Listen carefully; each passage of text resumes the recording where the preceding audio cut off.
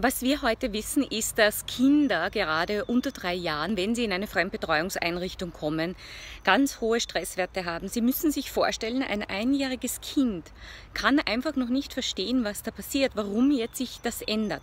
Wir können einem einjährigen Kind noch nicht erklären, eben aufgrund seiner geistigen Reife, dass die Mama sowieso wiederkommt. Und deswegen ist es ganz wichtig, dass es eine entwicklungssensitive Eingewöhnung braucht.